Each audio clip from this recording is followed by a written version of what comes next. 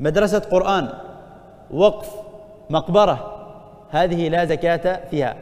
الأموال إذا بقيت وحال عليها عام ثم عام ثم عام وقد بلغت النصاب فإنه لا زكاة فيها.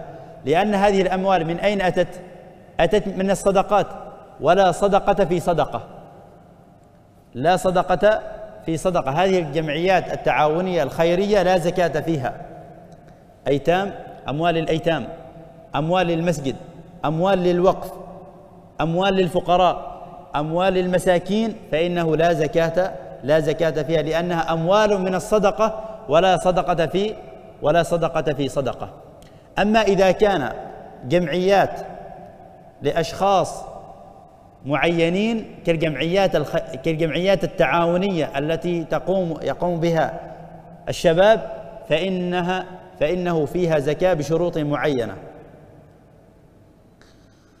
هذه الزكاة الجمعيات تكون على أحوال. إما أن تكون سنوية وإما أن تكون شهرية. فإذا كانت شهرية فإنه لا زكاة فيها. هذا الشهر من تاريخ عشرين إلى تاريخ ثلاثين. يأتي هذا بمئتين ريال وهذا بخمسمائة وهذا بأربعمائة وهذا بثلاثمائة. من تاريخ عشرين إلى تاريخ ثلاثين.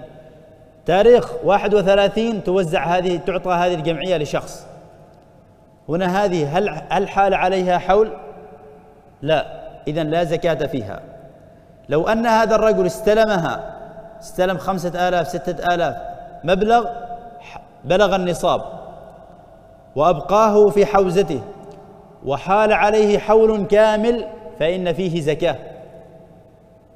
في هذا الشهر استلم الأول خمسة آلاف. فبقي معه من أجل بناء بيت.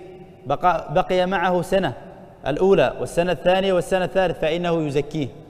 استلمه في شهر رمضان أو في شهر شعبان وبقي معه إلى شعبان من السنة الثانية فإنه يزكيه.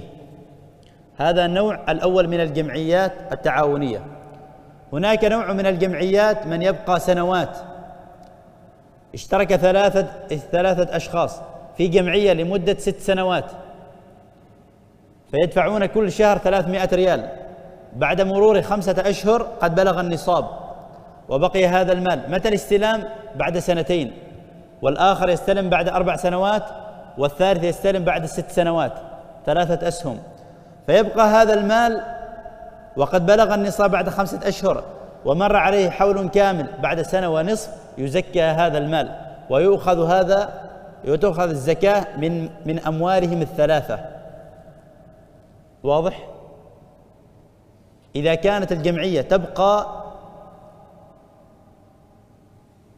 مدة سنوات ودفع دفعوا جميعا الثلاثة دفعوا في الشهر الأول والشهر الثاني والشهر الثالث والشهر الرابع بلغ النصاب.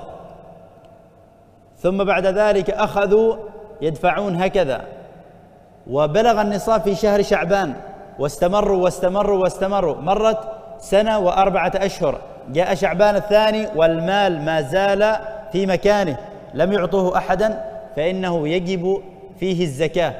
ويؤخذ من المال العام مال الثلاثة. يؤخذ من مال الثلاثة. فإذا أخذه يبدون يحسبون مرة أخرى للشخص للشخص الثالث.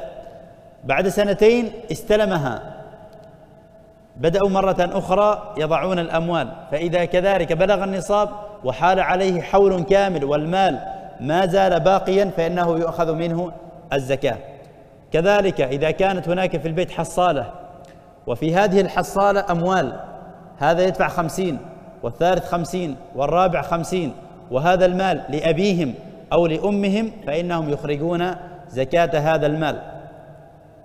إذا كان أبناء الجد يجتمعون في مكان معين أموال معينة وهذه الأموال لهم يتساعدون بينهم يخرجون كذلك زكاة هذا المال. إذا بلغ النصاب وحال عليه حول وحال عليه حول كامل.